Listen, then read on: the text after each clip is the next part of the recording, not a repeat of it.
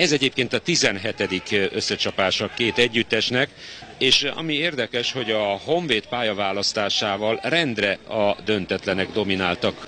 Ez egy nagyon jó bejátszás középre. Hidi keresztbelövi, Jula lekezeli, és aztán belelépnek a lövésbe, méghozzá igen kellemetlen helyen találta el a paksi játékos talabda. Fábiánt valaki lesárgarigózta fel, tényleg sárga fölsője van, eddig mindig fekete rigók voltak a játékvezetők.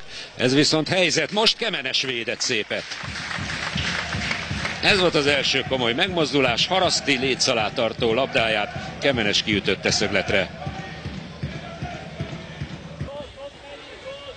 King rá tudja lőni, passzolt inkább, Obál visszateszi, King most lövi rá, és Molnár most már volt a Paksi kapusnak is bravúrja.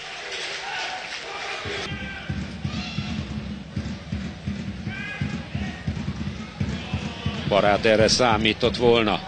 Aztán bejátsza középre mellé. Óriási helyzet volt pedig. De valahogy csak sikerült bejátszani a labdát középre, és aztán Vécseig lőtt mellé. Itt már Molnár teljesen verve volt, de szöglet következik.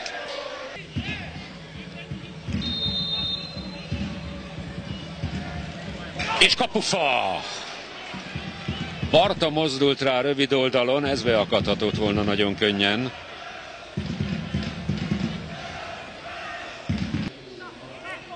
támadó poszton változtatott végül is az új megbízott edző, és itt pedig egy óriási helyzet Haraszti előtt, mellé.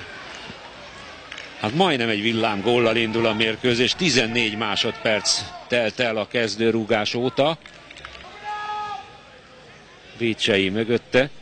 Ott van Barát, Vécsei befelé viszi most. Aztán lövi a labdát mellé. Szemre hányólag néz Molnár a védők irányába, hogy miért nem álltak be a lövőjátékos elé, mert nagyon nagy terület maradt ott szabadon Vécsei számára.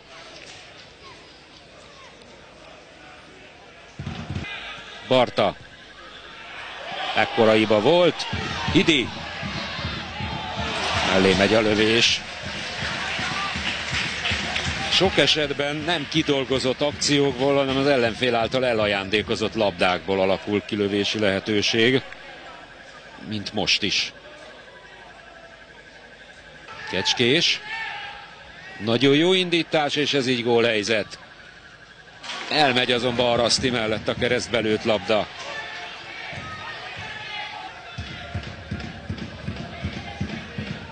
Nem sok hia volt, hogy Araszti elérje.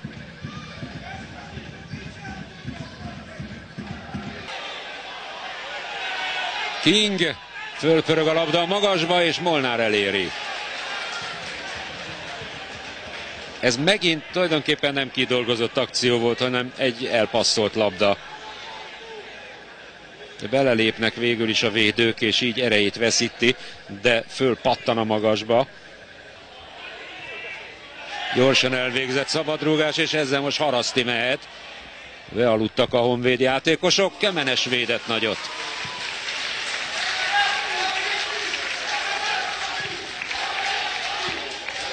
Kellett a honvéd kapusa, mert meg is nyerhette volna ezzel a Paksa meccset, ha haraszti lövése beakad és lefújja a játékvezető a mérkőzést. Nem született gól tehát Kispesten, én azt gondolom egyik csapat sem érdemelt volna három pontot.